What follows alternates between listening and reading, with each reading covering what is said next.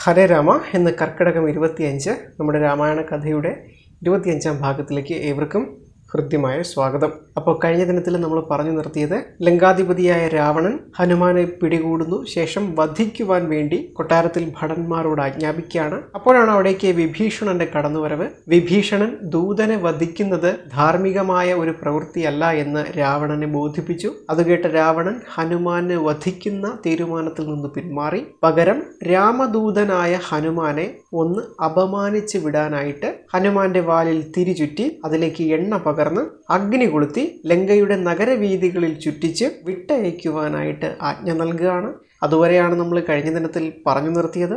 അപ്പോൾ ഇനി തുടർന്ന് രാമായണത്തിൽ എന്തൊക്കെയാണ് സംഭവിക്കാൻ പോകുന്നത് എന്നതിലേക്കാണ് ഇന്ന് നമ്മൾ കടന്നു ചെല്ലുന്നത് ഹനുമാന്റെ വാലിൽ തുണി ചുറ്റി അതിലേക്ക് എണ്ണ പകർന്ന് തീ കൊളുത്താൻ രാവണന്റെ ആജ്ഞ കേട്ടതു മുതൽ കൊട്ടാരത്തിൽ മന്ത്രിമാര് തിരക്കിട്ട ചർച്ചകൾ തുടങ്ങി. ആ ചർച്ചകൾക്കൊടുവിൽ കുറെ ഭടന്മാര് ഹനുമാന്റെ വാലിൽ ചുറ്റുന്നതിന് വേണ്ടി കുറെ തുണികൾ കൊണ്ടുവന്നു. ഓരോ അറ്റത്ത് നിന്ന് നമ്മുടെ ഭടന്മാരിങ്ങനെ കെട്ടാൻ തുടങ്ങി. അപ്പോൾ ഹനുമാൻ എന്ത് ചെയ്തെന്നറിയാമോ? തന്റെ വാലിന്റെ നീളം ഇങ്ങനെ വർദ്ധിപ്പിക്കാൻ തുടങ്ങി. കൊണ്ടുവന്ന തുണികളൊന്നും പോരാതെയായി. വീണ്ടും എന്ത് ചെയ്തു? തുണികൾ അവിടേക്ക് കൊണ്ടുവന്നു. ആ തുണികളും നമ്മുടെ രാമഭക്തനായ ഹനുമാന്റെ വാലിലേക്ക് ചുറ്റപ്പെട്ടു.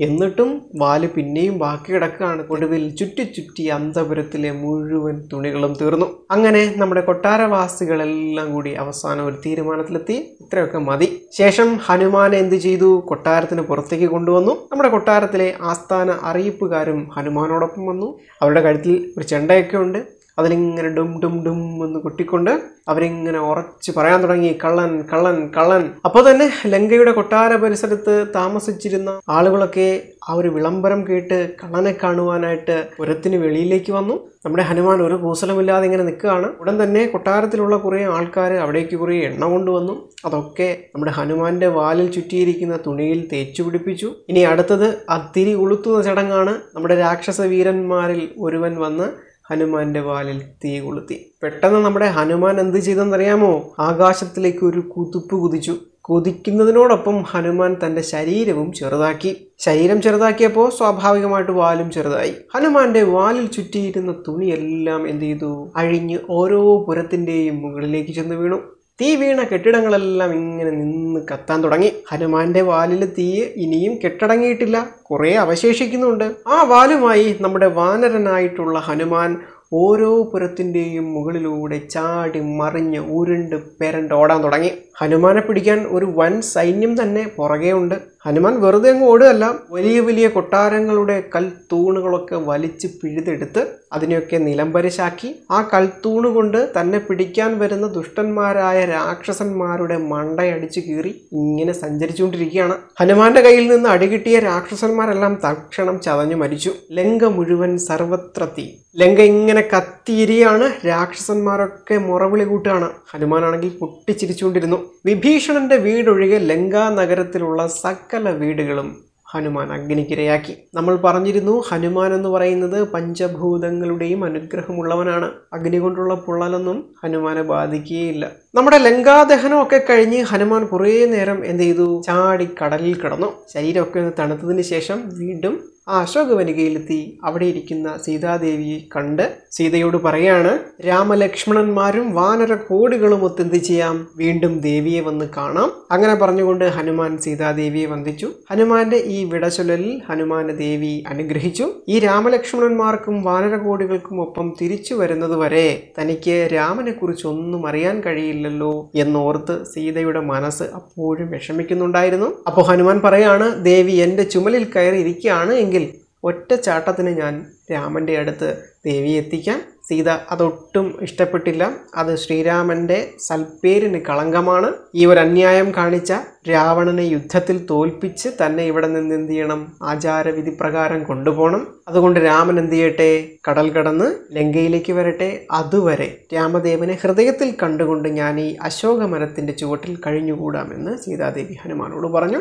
ഹനുമാൻ ഒരിക്കൽ കൂടി സീതാദേവിയെ വണങ്ങി. ഇനി അടുത്തതായിട്ട് എന്ത് വേണം? മഹേന്ദ്ര പർവതത്തിലേക്ക് പോകണമല്ലേ അങ്ങനെ നമ്മുടെ ഹനുമാൻ മഹേന്ദ്രഗിരിയിലേക്ക് എത്തിപ്പെടുന്നതിന് വേണ്ടി ലങ്കയിൽ അല്പമുയർന്ന ഒരു പർവതമുണ്ടായിരുന്നു. ഗിരികൂടം എന്നാണ് ആ പർവതത്തിന്റെ പേര്. ആ ഒരു പർവതത്തിന്റെ മുകളിലേക്ക് കയറി രാമദേവനെ ധ്യാനിച്ചു മനസ്സ് ഏകാഗ്രമാക്കി സർവശക്തിയും സംഭരിച്ച് എന്ത് ചെയ്തു? ആകാശത്തേക്ക് ഒരൊറ്റ കുതിപ്പ് കുതിച്ചു. ആ ഒരൊറ്റ കുതിപ്പിൽ ഗിരികൂടം എന്ന പർവതം കടലിലേക്ക് താണുപോയി. ഹനുമാൻ ആദ്യം ലങ്കയിലേക്ക് പോയപ്പോൾ നേരിട്ട പ്രതിസന്ധികളൊന്നും മടക്കയാത്രയിൽ നേരിടേണ്ടി വന്നില്ല. യാത്ര വളരെ സുഗമമായിരുന്നു. കുറേ ദൂരം ആകാശത്തുകൂടി സഞ്ചരിച്ചപ്പോൾ മഹേന്ദ്രപർവതം കാണാറായി. ഹനുമാൻ അതിന്റെ സന്തോഷത്തിൽ ഒന്ന് അലറി ഇവരെ അലർച്ച കേട്ട് മഹേന്ദ്രഗിരിയിൽ അങ്ങിങ്ങായി വിശ്രമിച്ചിരുന്ന നമ്മുടെ വാനരക്കൂട്ടം ആകാശത്തേക്ക് നോക്കിയപ്പോൾ ഹനുമാൻ അതാ വിജയിച്ച് മടങ്ങി വന്നിരിക്കുകയാണ്. ഹനുമാൻ അങ്ങനെ ആകാശത്ത് നിന്ന് നമ്മുടെ ആ ഒരു മഹേന്ദ്ര പർവതത്തിന്റെ മുകളിൽ വന്നിറങ്ങി കൂടെ ഉണ്ടായിരുന്ന വാനരന്മാർക്കൊക്കെ സന്തോഷമായി. അവരിങ്ങനെ തുള്ളിച്ചാടി ഹനുമാനെ എടുത്തുയർത്തി എന്ത് ചെയ്തു? ആ ജയാരവം മുഴക്കാണ്. അങ്ങനെ നമ്മുടെ വാനരന്മാർ ഈ ഒരു സന്തോഷത്തോടു കൂടി നമ്മുടെ ഹനുമാനെയും എന്ത് ചെയ്തു? ചുമന്നുകൊണ്ട്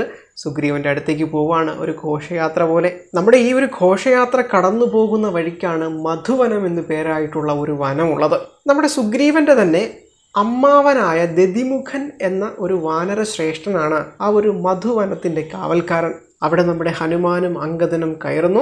ദതിമുഖനോട് സീതയെ കണ്ട വിവരമൊക്കെ ധരിപ്പിക്കുകയാണ്. ശ്രീരാമകാര്യം സാധിച്ചതിന്റെ സന്തോഷത്തിൽ ദതിമുഖൻ ആ മധുവനത്തിലെ മധുരമാർന്ന പഴങ്ങളും തേനും ഒക്കെ ഭക്ഷിക്കാൻ ഒരു അനുവാദം കൊടുക്കുകയാണ്. വാനരന്മാർ ഇത് കേൾക്കേണ്ട താമസം കുറേ ദിവസത്തെ വിശപ്പുണ്ടല്ലേ? വാനരന്മാരങ്ങനെ മധുവനത്തിലേക്ക് ഇടിച്ചു കയറി തേനും പഴങ്ങളും ഒക്കെ ആവോളം ഭക്ഷിക്കാൻ തുടങ്ങി. അങ്ങനെ തേൻ കുടിച്ച് കുറേ വാനരന്മാർ മത്തന്മാരായി സിരകളിൽ ലഹരി കയറി കഴിഞ്ഞാൽ പിന്നെ പിടിച്ചാൽ നിൽക്കുമോ അങ്ങനെ ആഹ്ലാദ പ്രകടനം അമിതമാകാൻ തുടങ്ങി. പരസ്പരം അടി ഇടി പിടി മാന്തൽ കാവൽക്കാരെയൊക്കെ അകാരണമായിട്ട് ഓരോ വാനരന്മാരെ പിടിച്ച് ഓരോ അടി കൊടുത്തു. അങ്ങനെ ആ മധുവനത്തിൽ കൂട്ടത്തല്ലായി.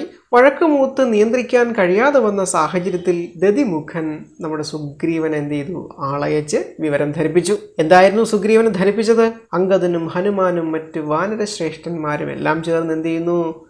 മധുവനത്തെ നശിപ്പിച്ചിരിക്കുന്നു. അപ്പോൾ ഈ ഒരു വാർത്ത കേട്ട് കഴിഞ്ഞപ്പോൾ നമ്മുടെ സുഗ്രീവന് അതിയായ കോപമൊന്നും വന്നില്ല. കാരണം സുഗ്രീവൻ ഒരു കാര്യം മനസ്സിലായി. അങ്കദനും ഹനുമാനും പോയ കാര്യം എന്ത് ചെയ്തു? സാധിച്ചിരിക്കുന്നു. ഒരു ഹനുമാൻ സീതയെ കണ്ടു കാണാനും എന്തുണ്ട് തരമുണ്ട്.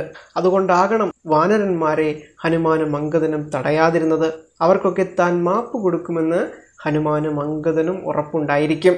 അല്ലാത്ത പക്ഷം തന്റെ സംരക്ഷണയിലുള്ള മധുവനത്തിലേക്ക് ഒന്ന് നോക്കാൻ പോലും അവർക്ക് ധൈര്യമുണ്ടാകില്ല.